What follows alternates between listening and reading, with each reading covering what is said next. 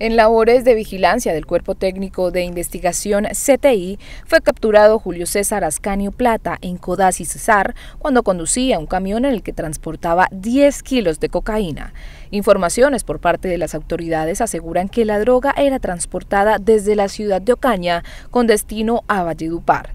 El material fue dejado a disposición de las autoridades competentes y el capturado en manos de la Fiscalía y se encuentra a la espera de la diligencia judicial por el delito de fabricación y tráfico ilegal de estupefacientes.